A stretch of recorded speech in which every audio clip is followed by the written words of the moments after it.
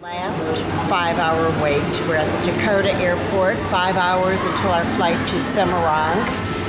Very easy visas on arrival. It's $25 a person US, and just get in line, they slap it into your passport, and you're all set.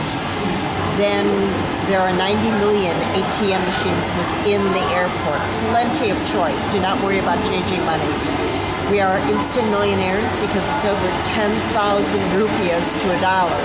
So we change $100 and we're millionaires. This is a Ciputra hotel in Semarang where we spent the night. Very, very nice hotel. Lonely Planet said it was three stars. Three beautiful ladies. I'm in there. Hi, Terima kasih. Sama Sama. I love those words. I love sama sama. And hati hati. Those are the only three words I know.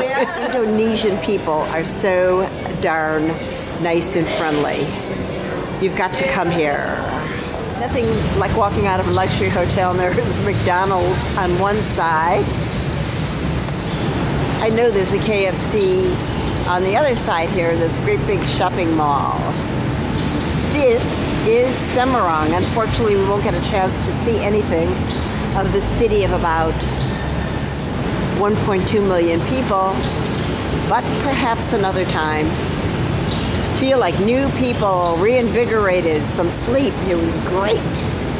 Later, we are finally landing at Kalimantan, Indonesian Borneo slash and burn. They're just decimating the forests, which is the problem the orangutans have. Their whole habitat has just been cleared